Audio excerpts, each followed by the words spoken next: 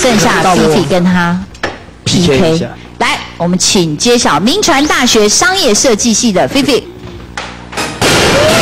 哇这边真的 OK 的啦，，OK 啊，不错，对啊，我们看一下 Fifi 的上部好不好？Oh my god！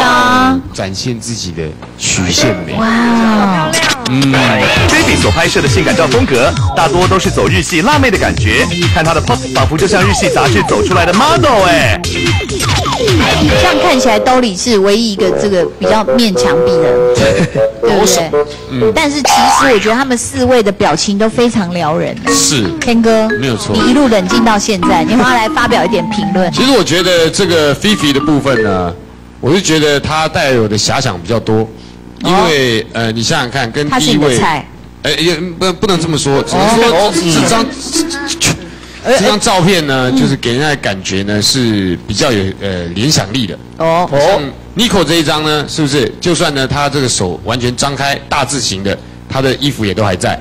可是哦。菲菲来讲的话，哦，你叫他袋子已经掉了。对，你对叫他说，你跟他讲啊，菲菲，请举手，哇，投降，哦，对对对对，了解。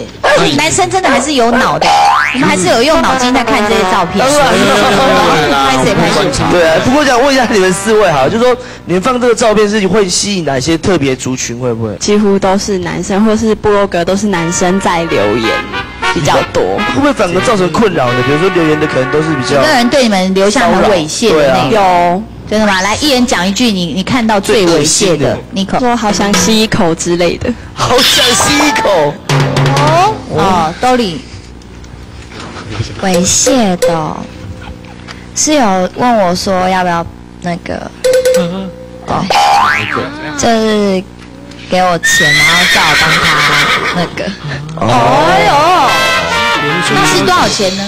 哦，那不是有分很多种哎，都是会有留言，就是说要包养你，给你多少钱，然后也有那种说叫你帮他，或者说跟他一次，然后那这个对啊，喊到最高大概有到就是有说一个月给我二十万啊，哦，太少然后。叫我一个礼拜陪他一天。哦哦，那都那都出得起。对对对，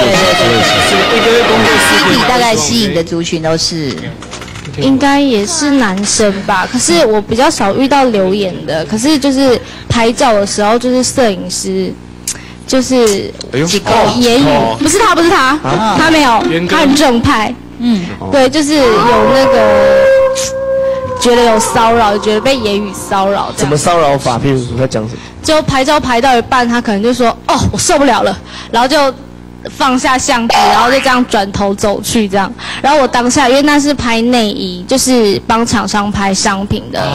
然后我当下就觉得说：“那我现在是等着要被强奸吗可能只是想要抽烟呢。对对对，太久没抽烟了。？”没有，他他后来还有坐下来就跟我讨论，他就讲说，就是他说我的表情会让他就是受不了这样，所以他必须要休息。B B 呢有碰过什么骚扰的吗？骚扰哦，应该就是外国人吧？哦，对